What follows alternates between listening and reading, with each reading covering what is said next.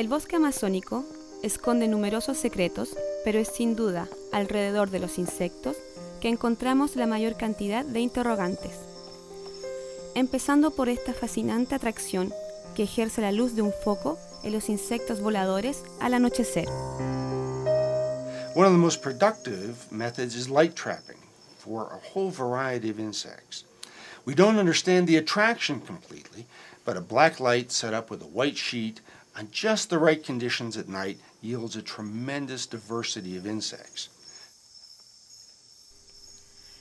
Los científicos han estimado que dentro de un rayo de solamente 3 kilómetros de bosque en Yasuní vivían alrededor de 35.000 especies de insectos, casi la mitad de todas las especies de insectos descritas en todo el continente norteamericano.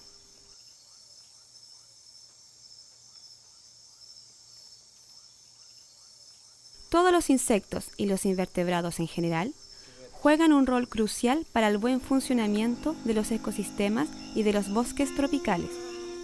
Aseguran la polinización de las plantas, son dispersores de semillas, sirven de comida para el resto de la cadena alimenticia, son excelentes limpiadores y finalmente reciclan la materia orgánica.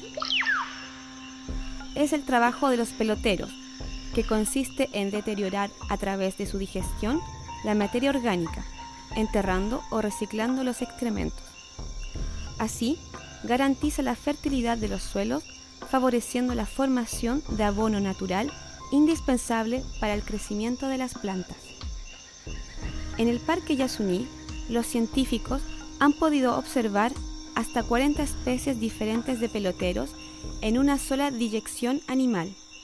Ahí de nuevo, el bosque de Yasuní se destaca por su sobresaliente diversidad. Desgraciadamente, estamos hoy en el contexto de una desaparición probable de algunas especies de peloteros. La causa es el desarrollo de las actividades humanas que cada día gana terreno sobre el bosque. Igualmente la polución o el calentamiento global podrían ser fatales para los peloteros de la Amazonía. Un estudio reciente demostró que los ambientes más perturbados tienen generalmente comunidades de peloteros dominadas por peloteros de tamaño más pequeño. De hecho, las especies grandes serían más sensibles a las perturbaciones debido a su tasa de fecundidad y desarrollo más baja. Esta constatación sugiere que si esta tendencia persiste, los peloteros grandes desaparecerán antes que los peloteros de tamaño más pequeño.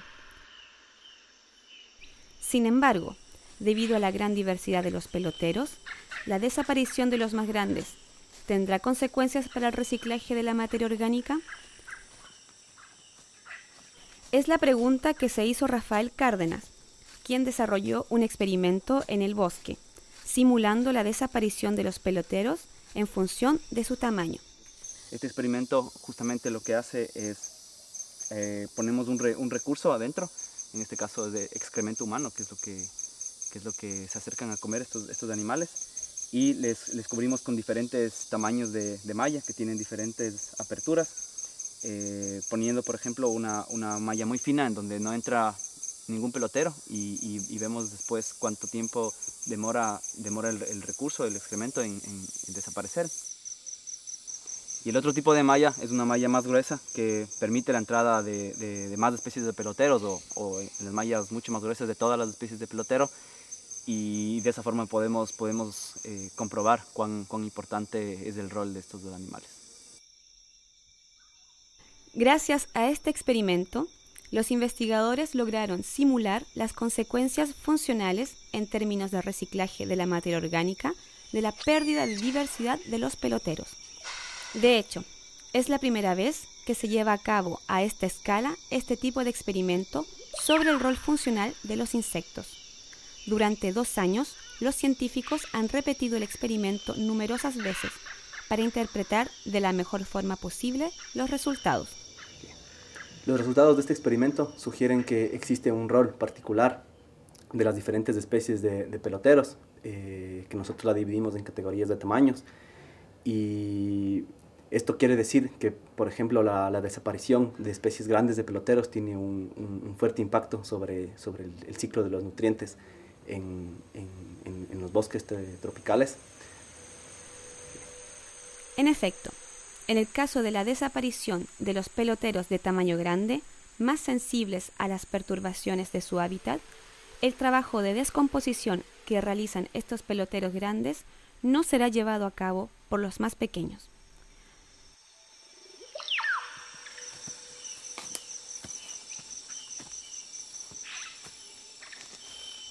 Esta falta de transformación de la materia orgánica podría tener como consecuencia un déficit de nutrientes en los suelos, ya que este abono natural producido por los peloteros es un recurso indispensable para la vegetación del bosque amazónico.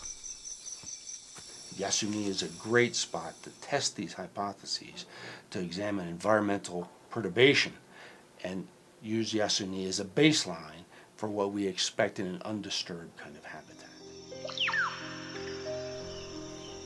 La estación científica Yasuni es de hecho un lugar único, ya que está dotada de una infraestructura de recepción de calidad y permite a los investigadores y estudiantes del mundo intentar entender en qué medida la biodiversidad es importante para el buen funcionamiento del bosque amazónico.